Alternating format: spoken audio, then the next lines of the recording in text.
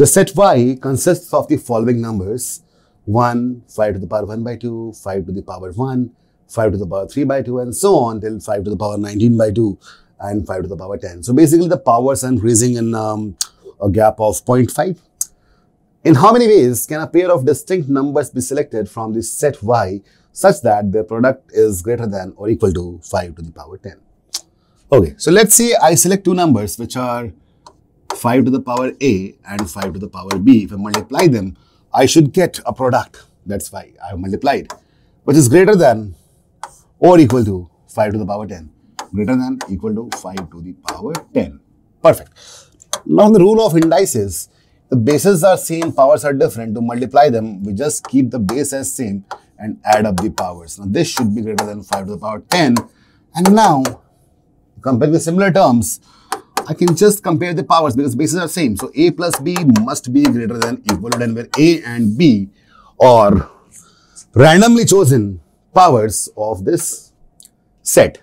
How beautiful is it? So instead of multiplying uh, these numbers which are at the base 5, we just add the powers and see if it exceeds 10. It will be easier, trust me.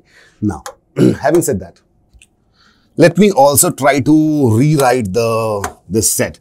So y is equal to, instead of having 1, I write 5 to the power 0 because anything raised to power 0 is 1.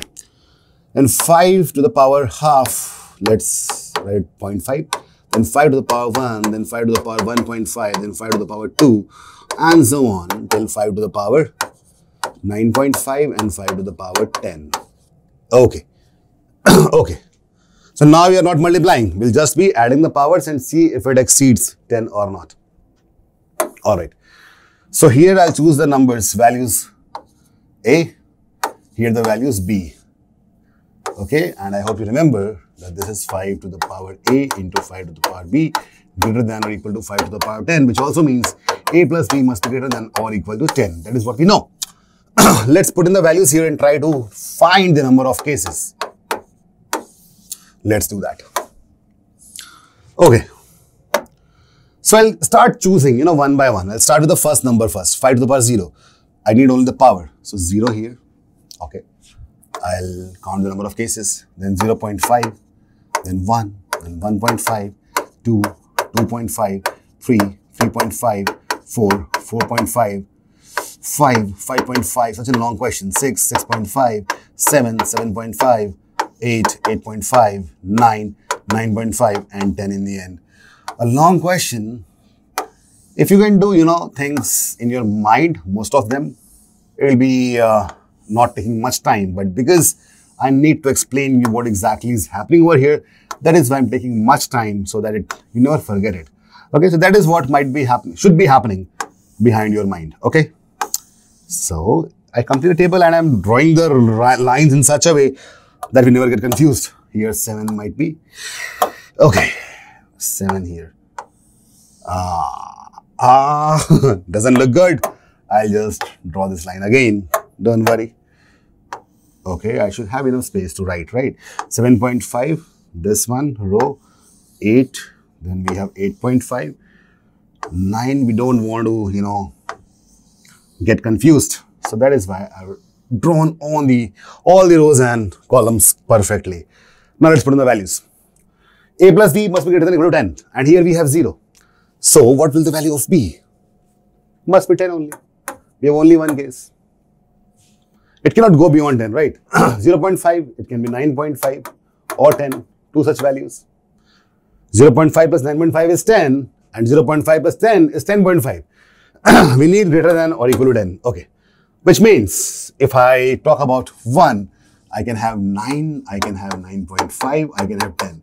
Three such values are possible. If I come to 1.5, I can have 8.5 till 10. So four such values. If it is 2, I'll have 8 to 10. That will be 5 such values. If it is uh, 2.5, so 2.5 plus 7.5 is 10. 7.5 to 10 will be 6 such values. Okay. now, 3. 7 to 10, we'll have 7 such values at a gap of 0.5. Okay, I hope you don't forget that. 3.5, 6.5 to 10, we'll have 8 such values. That is 6.5, 7, 7.5, 8, 8.5, 9, 9.5 and 10. Not writing all of it because that will waste a lot of time. Okay. So at a gap of 0.5, I'm choosing the values. Perfect. Now, from 4, 6 to 10, there will be 9 such values. 4.5, it will be 5.5 to 10. I'll have 10 such values. Now it is 5. If it is 5, looks like it should be 5 to 10, but that's not, that's not possible. Why? Because we need to choose A and B as distinct numbers. They can't be same. So I cannot start from 5 to 10. I should be, I, I can only start from 5.5 to 10, which makes it 10 possibilities. Now this entire pattern has somehow broken, isn't it?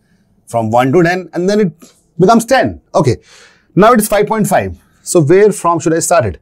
If I started from 4.5, what's going to happen? 5.5, then 4.5 to 10. What's going to happen? The problem here is that I have already used 4.5 and 5.5 in this row. I cannot repeat that. I cannot have the same numbers again and again. So with 5.5, I should start from where? I can't start from 4.5. Can I start from uh, 5? But 5 and 5.5 is already taken care of.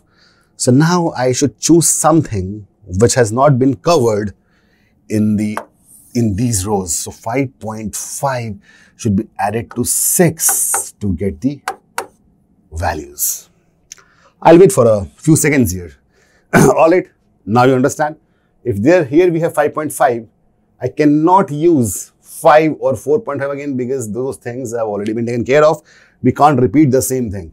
But 6 is something which has not yet arrived here. 6 is, you know, 6, 6.5 is all below this, below this row. Okay, so 5.5, 6. If I add that, I'll get 11.5, which is more than 10, obviously. 6 to 10, how many values do we have here? Let's count it out. 6, 6.5, 7, 7.5, 8, 8.5, 9, 9.5, and 10. Guess that right nine such values. Now I think you have identified the pattern. 1 to 10, then probably 10 to 1. Would that happen? Okay, let's check it out. The 6, now I should start from 6.5 to 10. So one less, we have 8.